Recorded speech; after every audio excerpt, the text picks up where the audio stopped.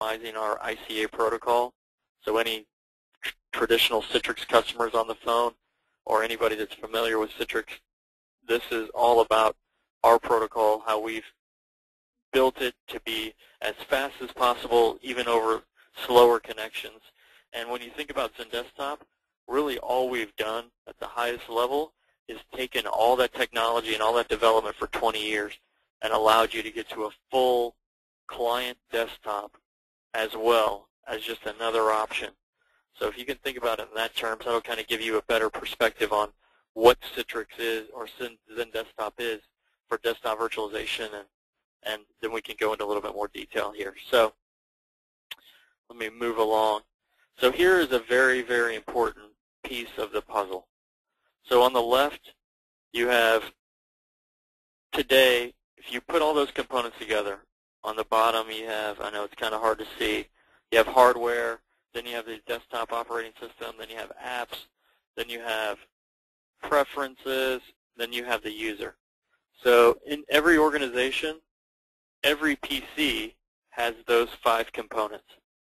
You add those up, you have to figure out a way to make them all work together because they're all tightly coupled together. So you install the OS into the hardware, you install the apps into the OS, then the preferences and the user data goes on top of all that, and that's a PC. So there's five components there. So if you have a thousand desktops in your environment, theoretically you have 5,000 different components or more that you have to manage on every piece in your environment. So the whole idea behind desktop virtualization is trying to simplify that and make your life easier in IT and make your IT staff much more efficient to be able to deliver that same experience that you're doing today, but get that from down to 5,000 components that you're managing down to a much more manageable 1,000, 1,500, whatever the number is in your organization.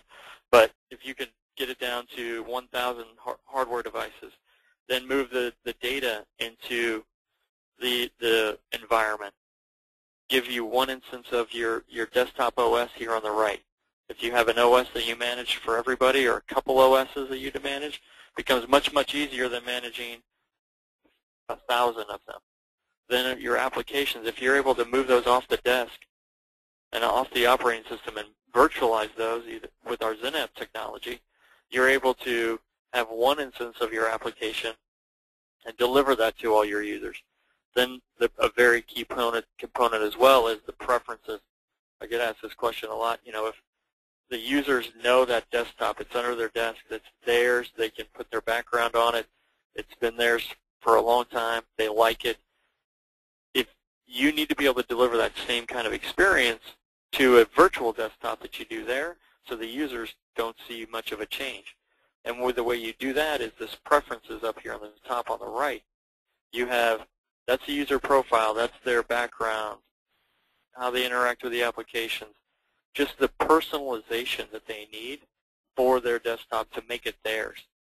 And basically what happens is we're going to bring that into the data center and centralize it and virtualize that as well.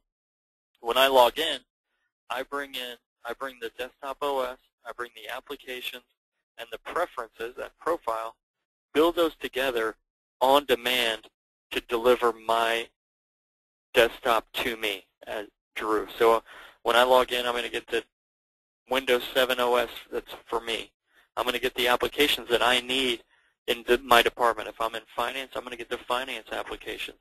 And then finally, I get the preferences, which is my kids' pictures and, and all that good stuff, and how I interact with my applications and my OS all built to give me my desktop that I need and to do my job.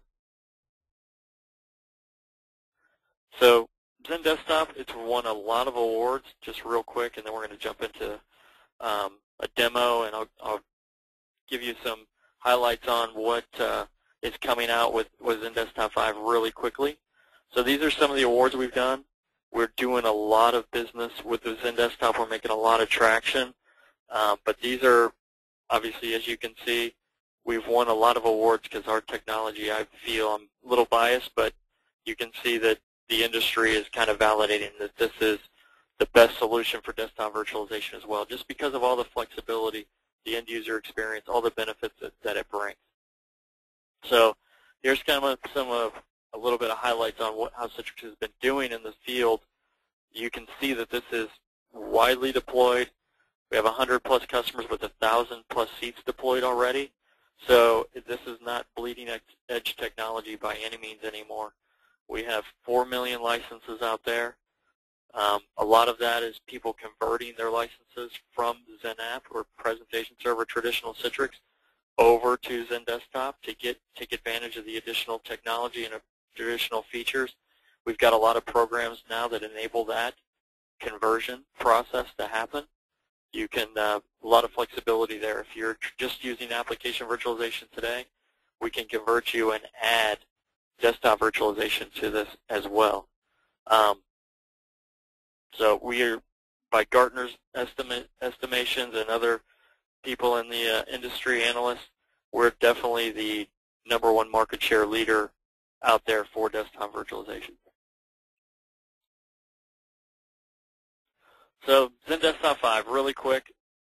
I'm not going to touch on too much of this stuff, but see there's some of the newer features that are coming out. Um, so here we have a, a feature called XenVault, and this is really all primarily about securing the data out on physical PCs or bring your own computer type initiatives. So it's a, uh, it's you're running. We're going to run Office out locally on that device, and what it's going to do is we're actually going to install the XenVault. It's part of the the Citrix receiver. Install that, and what it's going to do is create basically a encrypted folder or kind of partition on the device where anytime you deliver, utilize PowerPoint or Word that you've delivered to them on demand out to their, their device, it's going to be saved in that file, in that folder, I should say. So you can see here, um, it's all encrypted. They are special files so that we, we know but the main main thing for it is we can remotely wipe it out if something happens. The user leaves the company or the laptop's stolen. We can actually terminate that and kill, wipe it all out. It's encrypted first and foremost, but we can wipe that out remotely to ensure that you don't have any data loss. Kind of interesting for uh, some of the mobile workers or um, in your environment. So these are HDX Nitro technology. So this is marketing terms for some of the things that we've been doing against around the user experience. So you can tell these are our project's name, product, project names, excuse me. But the main thing here is about performance for the end user. So Project Mark, Mach 3 there first is optimization of the ICA protocol to make the performance that much better remotely as well as in the office. Uh, Project Zoom is instant app launch. I know if you guys are traditional Citrix customers, it, it takes a little weird, while for the applications to come up sometimes. So that's going to take care of that. They'll come up instantly and kind of load everything in the background. Um, faster printing. We have uh, more WAN optimization, speeds and efficiency, and then adaptive sense and, sense and respond rendering based on where the bandwidth is and what kind of machine you're coming from. What, how do we leverage your environment to give you the best experience? Do we render things locally on your device?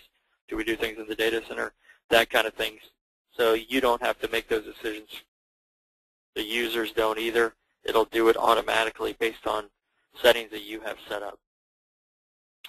Um, XenClient is a new new feature. It's been out a little bit. I'll just touch on it real quick.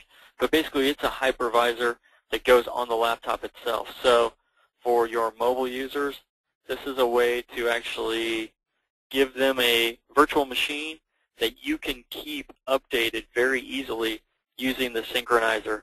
And what the synchronizer does is kind of keeps a local copy in your data center of that virtual machine. Anytime you make an update centrally to that, it will synchronize with that uh, the XenClient out there in the field and push those patches down so you don't have to worry about um, patching them manually. You can do it in one central location